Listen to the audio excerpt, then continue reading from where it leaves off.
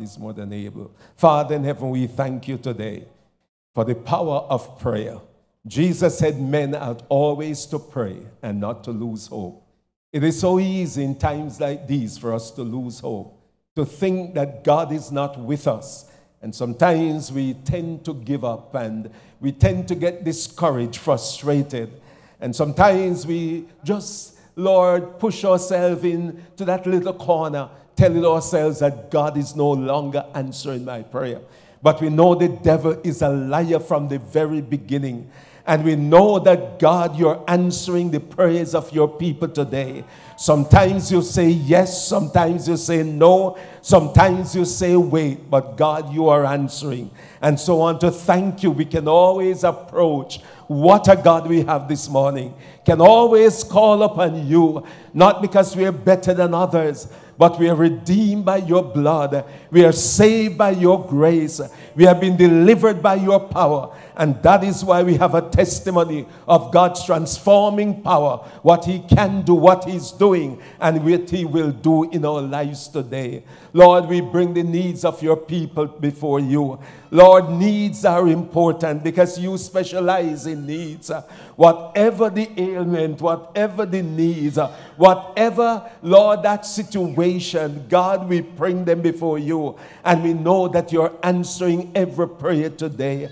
We pray for that young man. Oh God, we pray for that young lady. We pray, oh God, for that child. We pray for our little children, even as they're with us today in church. We pray for mothers. We pray for dads.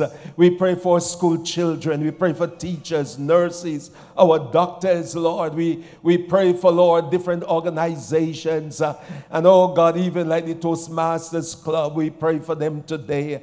And Lord, we pray for the needs of our people today. Lord, visit us, we pray. We need a heavenly visitation.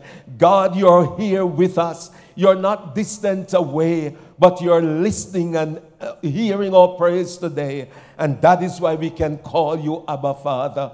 Continue to outpour your spirit upon us today. If ever a time we need you, surely we need you now. The times are dangerous. Lord, the, the, the times we're living, oh God, people are afraid even to live. Some people even rather to die than to live, unsure about the future. But we are glad when we place our confidence, our faith, our trust in you. God, you lead us unto victory today. So we pray that victory might be for your people today. May they shout from the mountaintop, Oh, victory in Jesus, my Savior forever. Thank you for the many prayers you have answered. Thank you for those who were sick, you have answered prayers. Uh, Lord, you have healed many. Those who have gone for surgery, you have brought them out, oh God, triumphantly. And Lord God, so many testimonies uh, of God's goodness and God's faithfulness. And all we want to do is continue to bless your name. We pray for island Antigua and Barbuda, or islands of Antigua and Barbuda. We pray your blessings. We pray that you'll give direction and leadership, Lord, to those in authority. We ask that you'll lead us, Lord. We cannot go forward unless you're leading us. And that is why we are praying this prayer this morning. Lord, supply the needs of your people. We pray that you'll be with them. We think of those who have lost their loved ones. We think even our neighbor down the road, Earl, who has died and gone on.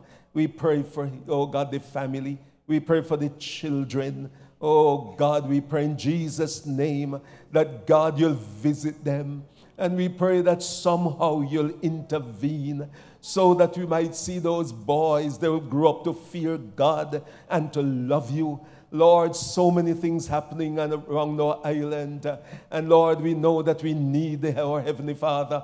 Only you alone can change plans and you can change hearts and lives of men. And as we place our confidence in you, you're able to help.